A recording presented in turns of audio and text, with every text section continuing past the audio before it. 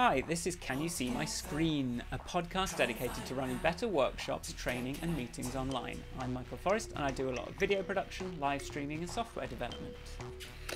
I'm Ivanka Majic and I do user research. So I do a lot of talking to people. I do workshops, courses, and presentations. And with so much of our work having to happen online at the moment, uh, we think that we can help things be easier and better for all of us. So much better! Um, today we're going to talk about icebreakers for online workshops. That sounds um, like something, doesn't it? Um, it does. this is more, I think, Ivanka's field. I'm a sort of solo, do everything on my own, but Ivanka does a lot of these things. So she's going to tell me all about it after the titles. Try connected. We're going to try to find how to get connected.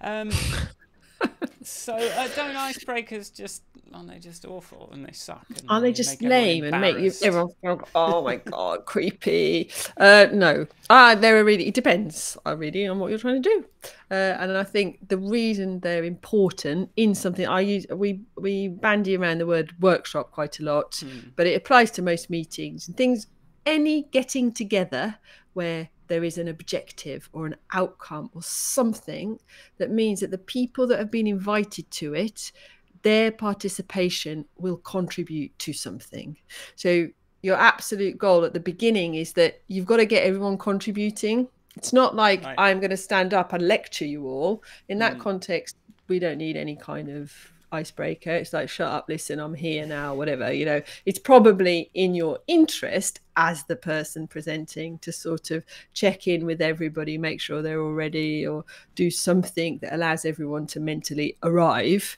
Mm-hmm. Um, because, you know, I do think these days we're missing that walking into the venue bit that helps us do that. Uh, but that's not the same and as having an icebreaker, mm. which is so almost mentally, always yeah. So mentally arriving, what do you mean by by that? I mean like you know, I was I was here, I was replying to my email. Yeah, yeah. and then I'm like, I've got the tab open. Oh, the lecture started. Right. Uh, that's not giving me, I, you know, I've not arrived. I'm still sending that still email or probably finishing elsewhere. it off or just got a little eye on my Slack or whatever it might be. Yeah. So creating that moment of, hello everybody are we all here um, I mean, they do it at the beginning the of a yoga class, don't they? They're sort right. of like, and sit know. on your mat, take a deep breath. Oh, and that doesn't matter if you're online or offline, but yeah. Mm. So, and that's distinct from now, right? Everyone, everyone's here, everyone's present, everyone's turned off their, you put their phone in focus mode, and now we're going to break the ice. Um, yes, I suppose, and I suppose there's different levels of call, right? So, so what what are we going to start like? So, what's the most common one for you to be involved in? Would you say breaking the? What ice? do you mean level? Like uh, there's there's one to one conversations. There's group uh, like three or four people. There's yeah, you running a workshop. There's thirty people in there, or there's you know there's a yeah, I think panel maybe of you know six people and then an audience. So like what sort of thing are we talking about? I think we're in a one to one. The icebreaker is just the hello, how are you kind yeah. of uh, interaction. I think we're talking about a work. I don't think we're talking about a panel because mm-hmm. only the panel needs to break the. You know that there is if there is a panel, there is also an interviewer. They've got to break the ice amongst themselves. We're just mm. listening. Um, but then if you've got you know anything more than three or four people, I'd right. say you might not if we're three or four you might not need you might it might be enough to go does everyone know each other right um but let's just do because it's so easy to forget that can you just yeah. say your name for the you know and what you actually do or which organization you're from or blah blah. Um, and then if it's more than that especially if you know you're going to have some organized planned activities like for a workshop you might be thinking some you know i don't know coming up with some ideas or getting some feedback about something. You need people to be feeling that they can actively participate and an icebreaker is a really important way a really good way to get people to practice their voice in the right. setting uh, because it, it need, it's designed really to level people and to mm. go right everybody's allowed to speak this is how we're going to speak we're going to test it out on something where none of none of us need to worry about saying yeah. like you know and then and then so we're not creating any judgment we're creating a level fa- playing field and then from then on hopefully as a moderator, it serves two purposes. One, hopefully you get everyone active in your icebreaker. But if you don't, you also have your eye on the people who are more hesitant to participate. Right, so right. you're already knowing that you can go, oh, that person was a bit shy, or they spoke very quietly, or whatever they did. That may- means that you then can go, so Michael, just check you know we've, do, we've done this ideas thing yeah. have you got anything to add was there anything you'd like to say or you know i've noted Wah! pick on you yeah. um so yeah i, I think i think so, it's uh it's it sounds lame but it's really important.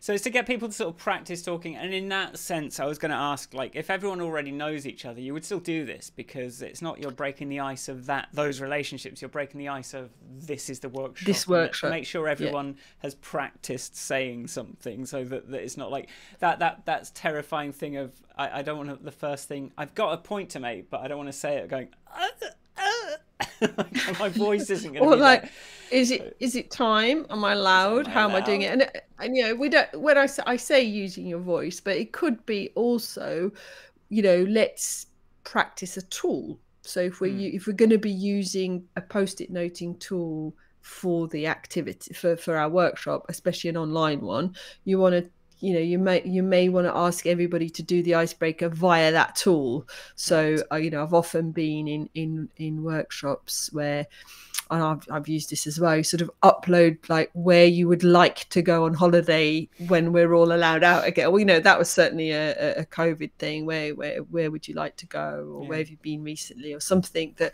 so you have to upload a picture into right. the tool so it sort of practices the tool and gets a conversation right. going and and, and so, so so any way that you want your the the group to engage with the problem or the, the outcome, then that's that's going to be part of the icebreaker probably. So should we have some? Yeah. Uh, do you want to tell us some then?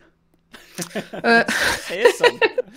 yeah, here's some. I mean, I will. I will plug someone else's link for this okay. as well because there's a there's a woman called Emily Webber who I've worked with variously. She's she's written. She's got a good post blog post about it on her website and she does a lot of community stuff oh sorry agile community engagement online that kind of she she's talks about how to get people to talk to each other right. um, and so her she's got a nice blog post with a few good examples which i would definitely recommend um, but you know i i i think the for me the most the the important things I've done I've done this in physical workshops as well. Hmm. It's like what did you have for breakfast? Which what's your name? What's your organization? and what did you have for breakfast? And I've done this where there's been 30 people, for right. big numbers of people, because you have to go like, you know, we're all here together. Um, and then you can have a bit of a laugh later. You know, you, there is always a little bit of the back of this happens to me. It's like, I don't want to ask somebody that might make something that might make someone uncomfortable.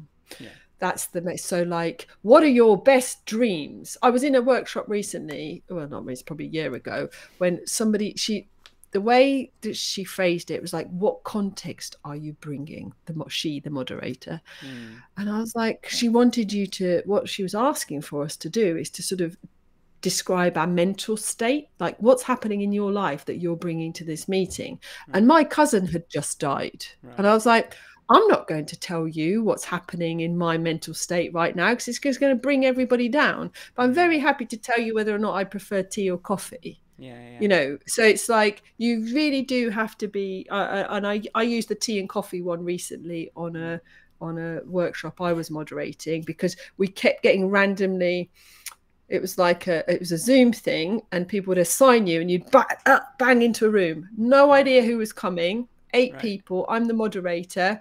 Hello. Right. Before we start, who, tell us your name, tell us what organization you're from, and what do you reckon, tea or coffee? Hmm. And then everyone, then it was a bit of like, haha, I like my coffee like this. I'm not, I don't know. But then, so, you know, it's just, it's got to be something that is really unlikely to offend. Yeah. and it's I think there's a certain like what you know what did you do today is a lot easier question to yeah. ask than what are you doing with your life. But yeah, like, but what I'm thinking is like. what I'm thinking is like, do you like me? You know, um, yeah, yeah, yeah, yeah, yeah. Um, do you um, do you think? Uh, so if say there's 30 people, there's then just the logistics. Are you going to wait for everyone to pipe in, or are you going to sort of like go through each person, even if there's that many? Uh, I, I, I've I've I've done the I've done both ways. So I'm not going to waste waste. Eh.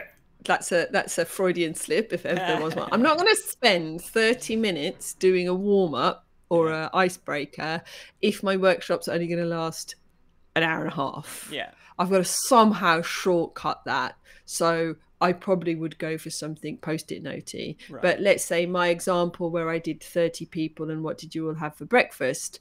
I uh, did uh, I did take the time because I needed that like we've had this conversation about how to run an interview or something the set, it's all in the setup you've got yeah. to set the mood in the room you've got to set your authority you've got to set the and I, I think following up in those circumstances you can also add in a let's give you know you can give some some people just one word they can say like tea or mm. coffee or whatever right. um, and then maybe on just so it's quite fast i suppose i hadn't thought of that like uh, breakfast is uh, you can get into their life story if you ask what they are yeah it's like breakfast but tea or coffee is like two syllables maximum yeah yeah maybe yeah three oh, if it's neither what yeah, yeah. So it's like, but you know, getting into breakfast, then you got the person who didn't have any breakfast. And, oh my god, you know, it's like, oh, did they have not have breakfast because they could afford breakfast, or because do you know what I mean? You know, it's like it's very easy to. Yeah. so it's like, uh, so yeah, so there's kind of. Uh, uh, there is an efficiency,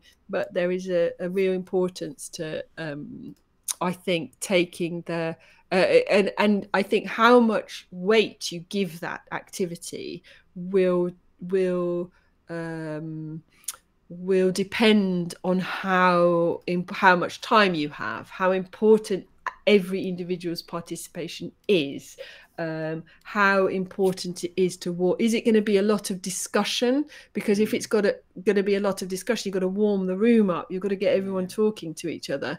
Um, so I think like uh, the the you know but it, i think it's very easy for them to, for them to be very lame you know. Mm. i think it, with our online ones um i've seen some really uh there's there's some good ones where you make you make people get up. Right. so sort of like because that's useful as well sometimes. They've been sitting at their on the subject of helping people to mentally arrive. Yeah in the warm up to say go and find something yellow go and find a fridge magnet go and you know there's both of those are emily webber examples but it's like uh, i've been um, uh, i think i've been asked to go and find something yellow before uh, and then again you know but it's it's it's a but it's a yeah but but it's a get up move around which is good and i saw another one which i may or may not have talked to you about where everybody has to get as far far enough back from their screen so their hands are touching the edge of the square. Uh, I can't do it. Uh, you know, so I've got my wrong hand. So, oh, I can't do it. but you know, so so those kind of things are are quite. This just to get everyone have a laugh. Yeah. Hopefully, you get some. That's really it's like, and and uh, so yeah, I, I think that. um so we're going to go Emily Webber for a list. I go, yeah. I, I suppose, Emily Webber's got a good list. I suppose you've got. I suppose once you've been doing it a while, you've got your go-to's. So you sort of like probably yeah. you've got. I'm going to do the whiteboard thing. I'm going to do the the thing. Yeah, I yeah. this works. I've done a 50 of these workshops now. That's what works. Yeah. So I suppose this is almost like a do's and don'ts um, yeah. session as much as anything else. But also, like maybe we can talk about what what is the difference between the online and the, the offline like, is there any more that you can go into there? Uh, stuff that works online that doesn't work, uh, and vice versa. Um, uh, so well, I think you've got to be the Zoom high five is yeah, real high five. I've never, I don't, I cannot record uh, what because what you just said. Like, yes, I have a few. I do breakfast. I do tea and coffee. I do. Um, how did you get here? I do. You know stuff. Uh, you know, I I I won't necessarily spend a lot of time inventing there's no benefit to inventing a new icebreaker if you know an icebreaker. So you're like, that's not why I'm going to put all my energy into the workshop and what yeah. that's going to be about. Yeah. What I might be thinking about is the appropriateness. I will often throw in a what do you hope to get out of today? Right. Right. Because then I'll, especially if I'm running a training course, like what what's what what questions have you come with, so that I can gather them, put them somewhere, like as part of my kickoff for my workshop or my training course and then go back to them and oh I, I see a lot of you are very interested in I don't know how to how to start how to do icebreakers. Um, right. So yes, we're definitely covering that today. But what we won't be covering is speed dating tips. I don't know. Do you know what I mean? So it's like uh, so so it helps me understand the the who, who's in the room and what they're actually trying to find yeah. out. So but that yeah that, so i guess that, you'd be capturing that like if it's an online thing there's a bit more scope for capturing a little bit of information about someone ahead of time and, and maybe just have a look and see if there's anything that inspires you for the day that sort of takes it beyond a, maybe a superficial i'm going to just practice my voice into maybe something that actually helps to sort of move the workshop Shape. forward straight away yeah, and i yeah. suppose that would be a much a, a more efficient use of time still if you can you know, well and i think it depends on the participants you know mm. like well, I think I can't remember if I've talked about this before, you know, but there's there are there are culturally appropriate questions as well, and right. culture doesn't just mean like what's your favorite alcohol to a, yeah, right. group of people who don't drink alcohol. Yeah. It's more also like certain cultures in a professional setting wouldn't expect to be asked what they had for breakfast, yeah.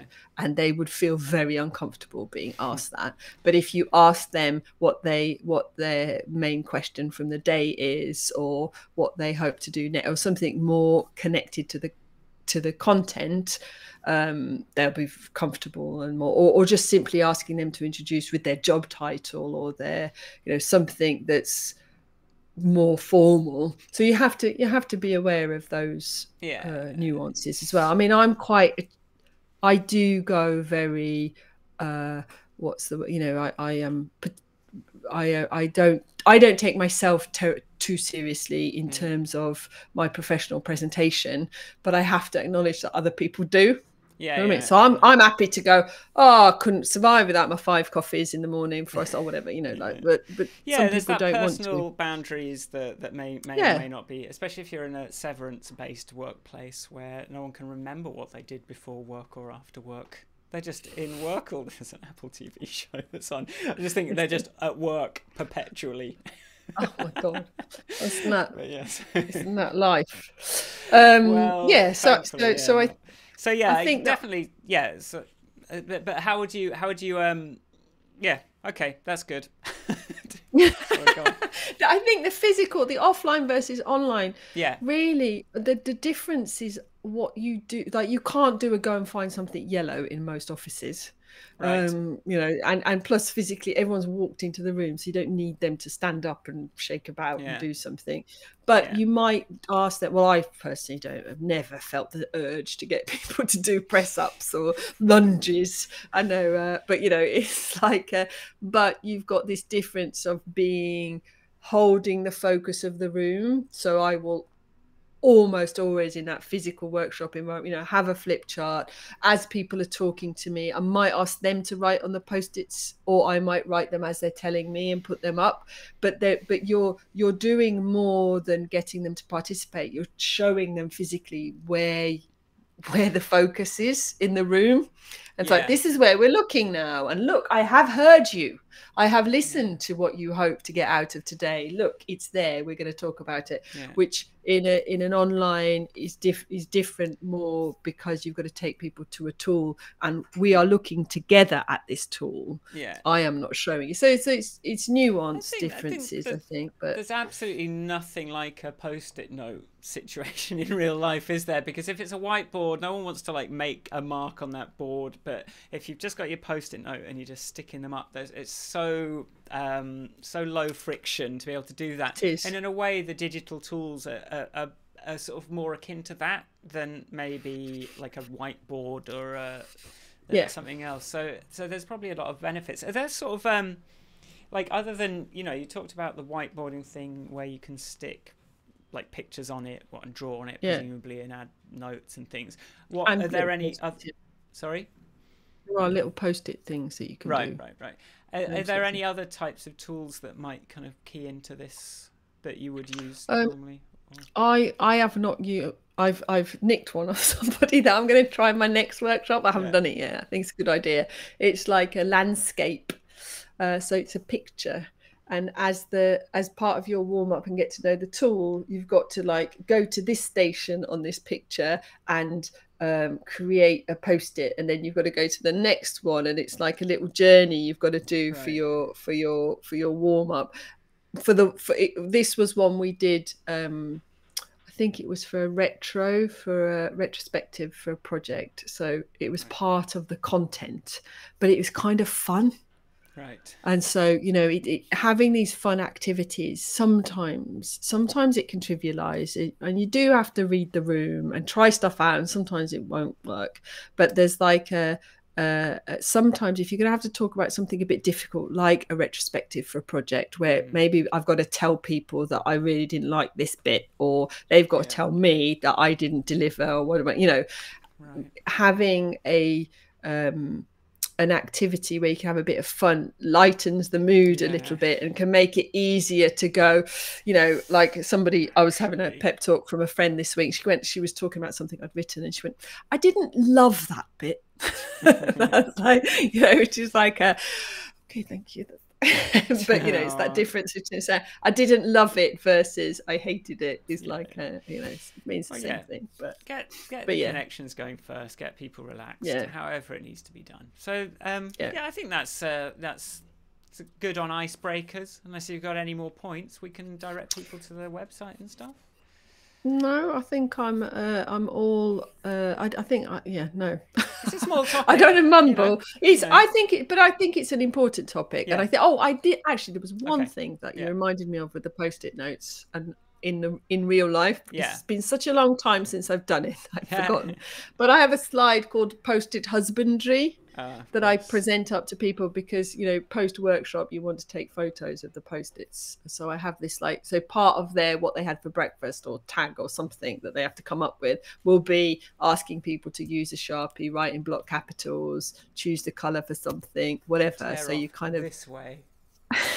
so you get See, some I've training. one of Ivanka's things. Do not tear the post-it this way this way. this way. Uh, but yeah, so it's those kind of things that just yeah. kind of just you know it's a little bit of a and people you know it's not it's not uh it's often the little icebreaker bit that people will be like the post-it husbandry lives on uh, without me um, uh, as do all to... my amazing workshops that i've run. But uh, yeah the, the like you can make it something that brings everybody a little bit together. They can have a joke about later yeah. at, in the pub for the drinks after. Yeah. That's so it's a sort of into. personal branding opportunity as well you know if you're into that sort of thing. You can do that. it. yes. Okay cool. Well um if this is uh, I, I I'm not I can't remember how we end this one, but I think I just say come to um if you like this, uh, we've got more episodes. Uh, come to uh, can you see my screen podcast.com. And uh, yeah, there's links and information and full video episodes. Uh, you can get this on your podcast app. You can get this on YouTube, um, and uh, you know on the internet. Uh, so if you want to come and find and ask us questions and tell us a bit about yourself, just come to our website and um, yeah, we'd love to hear from you. Um, so yeah, let's uh, say goodbye. See you next time. bye. Bye. Bye. Bye. Bye. Bye.